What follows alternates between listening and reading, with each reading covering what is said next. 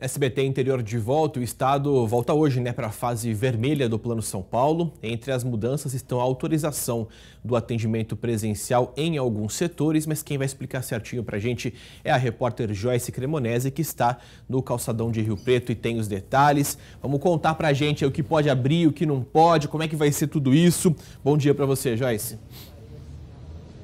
Ótimo dia, Casa Grande. Bom dia para todo mundo que nos acompanha. Olha, a principal mudança, né, já que relembrando que essa fase vermelha do plano aí em São Paulo vai até o dia 18 de abril, é que as lojas de material de construção podem atender presencialmente os clientes, né? A pessoa pode entrar, escolher o seu produto, claro, respeitando ali todas as normas sanitárias.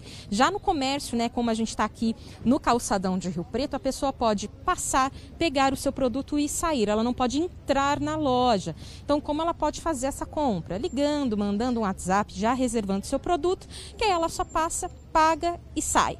É, outra alteração também é, com relação, Casa Grande, às aulas, né, que elas retornam também, já está permitida, é, o, já está permitido o retorno das aulas presenciais, respeitando aí a capacidade de 35% dos alunos dentro da sala de aula. O governo do estado já autorizou aí o retorno das aulas aqui em São José do Rio Preto. As aulas permanecem de forma online. A realização de cultos, missas ainda está proibida né, a realização dessas atividades de forma presencial.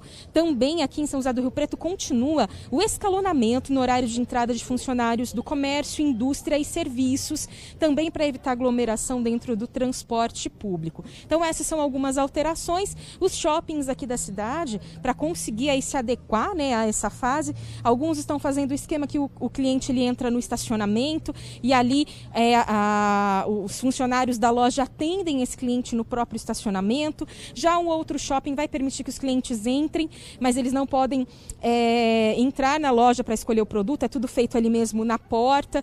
Então, cada um se adequando aí a essas normas, né, Casa Grande, para conseguir seguir até aí o próximo dia 18 de abril. Exatamente. Abril que inclusive é no próximo domingo, mas o Estado deve anunciar na próxima sexta-feira possíveis reclassificações, porque durante ali a coletiva em que o vice-governador Rodrigo Garcia anunciou a fase vermelha, os membros uh, do Comitê de Contingenciamento, de Contingência do Coronavírus aqui no Estado já tinham adiantado que possivelmente na próxima sexta-feira algumas regiões do Estado devem avançar para a fase laranja, que tem um pouquinho mais ali de reabertura, algum atendimento presencial em alguns setores, um horário ali previsto de atendimento, uma faixa horária com restrição de público, enfim. É assunto para a gente ir com calma e atualizando quem está em casa. Lembrando então, Joyce, aquele nosso combinado, né? É o famoso cata e vaza. Pega o que você tem que comprar e vai embora. Não é para ficar ali é, batendo perna olhando vitrine. Já compra antes ali, faz um acordo pelo WhatsApp, pelas redes sociais, por telefone e depois já segue a sua vida. Vamos voltando aos pouquinhos, aos pouquinhos aí a retomada. Obrigado, Joyce, pelas informações.